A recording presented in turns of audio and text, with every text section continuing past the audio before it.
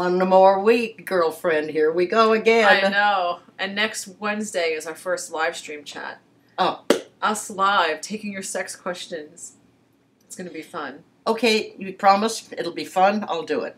Which I thought we'd talk a little bit about the body sex effect that has been happening since the film was released, and it's getting into all of our little Kickstarter donor hands. So listen to this. In front of our wonderful followers and friends, I want to thank this woman publicly. I do indeed. I kicked and screamed and She yelled. I whole was time. I was a no, not during the shoot. I simply shut up and let it go. you did. You did. But afterwards, it was I don't like this and that, and she had to just use her lawyer technique to go stone face and sit there. I wanted to smash her. Oh, sometimes she would look at me, and I would always say her Cartmans are up because her eyebrows go at an angle, and she had so much rage, and I was like, "Oh my god, what am I gonna do?" Just you didn't do anything, Yeah, I said, I said, I'm like, just go within, and so I have processed it, compassion. and I found out that what I was struggling with was the image, my nude image of an old lady, and I don't identify with that, and so now I understand that my age is also my power. And that I'm not going to get any more. You know, like my dentist wanted to put a little Botox up here because Oh, come on, 83 Botox? No, no. I'm I'm past all of that. Yes, no. I'm just I'm going to be this wise woman, a crone.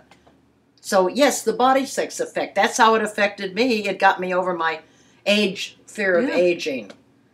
Do you understand how big that is? I no, that's why I had compassion, and that's why I, I would get mad. But what am I going to do? I don't know what it's like to be on camera naked at 83. I can't say It's awful. I can't speak to that.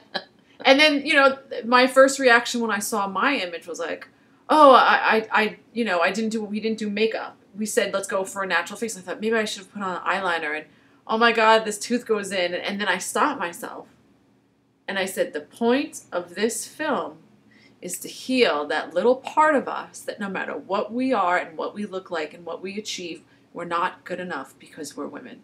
I could not believe we made the decision to go n- almost no makeup. Well, I felt like we it's it's here's what it's like. It's real womanhood. It, it, this is what I look like instead of putting on a mask.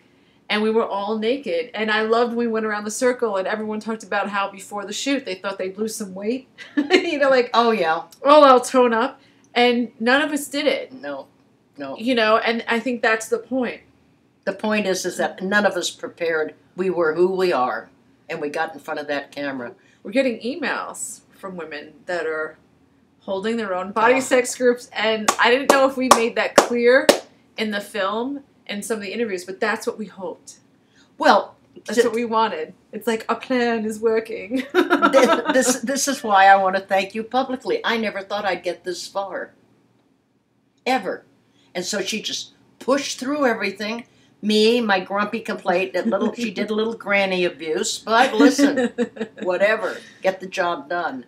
And now I I'm very grateful to have lived long enough to see this happening. The work I began back in, in 1970. Well, I, I can't imagine as an artist to see your work is still um, vital and real, and it's still working. And this wasn't It spans how many generations? That's an accomplishment. Yes, it is. It is. It is an accomplishment. And beyond the fact that it's an accomplishment, it was the idea that other women would do this. So To me, this was the women's movement. Yes, yes, and that's what we always say. The next ways of uh, uh, phase of feminism is sexual liberation, Oh, wow. and we've been talking about it. And I was looking over my first notebook when we sat down three years ago and mapped out what we were going to do, and it's like we've fulfilled everything that we were set out Yeah, to do. yeah. But it's like you don't go through knowing every detail, but it was Yeah. like, okay, we're gonna revitalize feminism, This time with sex. and this time with sex. And I never thought it would be filming another body sex group. It was just that was our goal and our intention and what we wanted. Uh, I knew we had to, and I didn't want to. no, she didn't. No, she I didn't didn't. at all. And we just pushed and pushed. She just put together an essay on how to have your own body sex group. We're posting it on the site. I'll put the link in here. You can Yeah. watch the film. Yeah. The first group is being held in Portland. The second group is going to be held in France. And let's hope for Yeah. them just Yeah. going across the globe. I just That was one of our idea. images. Yeah. Carlin said, I can see uh, this map of the United States, and every time someone's on our website, a light will, and, and some, all of the lights all over the globe. Everyone's connected. Now we just got one from Romania. Did you see that? I know. So now we're really going global, which is very exciting. So thank you. I love it.